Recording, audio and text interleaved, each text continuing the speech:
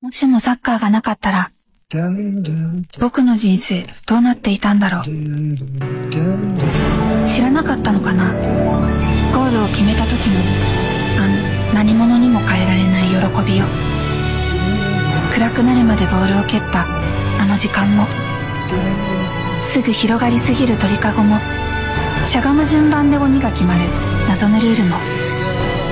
負けた時に溢れ出てくる涙も、努力が報われない苦しさもきっとサッカーで仲良くなったあいつらとも友達になれていなかったと思う。スタジアムでのワクワクもテレビで見るドキドキもプロを見た時の興奮も知らない。そんな退屈な人生だったんだろうな。ああ僕らの人生にサッカーがあってよかった。